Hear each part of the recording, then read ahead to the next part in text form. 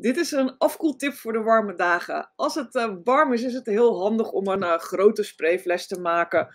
Of uh, misschien zo'n wat kleinere van 30 milliliter steek je makkelijk in je handtas.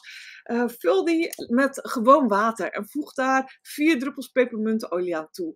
En ook heel lekker groene mandarijn. Want groene mandarijn is een citrusolie die je gewoon in de zon kan gebruiken. Andere citrusolieën doen dat liever niet. Groene mandarijn kan wel. En met vier druppels uh, pepermunt en twee, drie druppels groene mandarijn heb je een heerlijke verfrissende spray. Even schudden voor gebruik. Dan kan je gewoon lekker op je gezicht sprayen, op je armen, op je benen.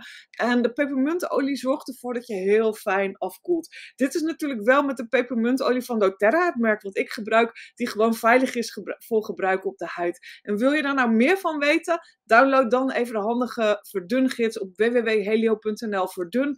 Dan krijg je gelijk alle basisinformatie over het veilig, prettig en praktisch gebruiken van etherische olie. Veel plezier met deze tip en laat vooral ook je reacties over of je het gemaakt hebt. App me een foto, stuur me een foto via de stories. Uh, of je kunt misschien ook meedoen aan de zomerjacht op uh, mijn website www.helio.nl, zomerjacht.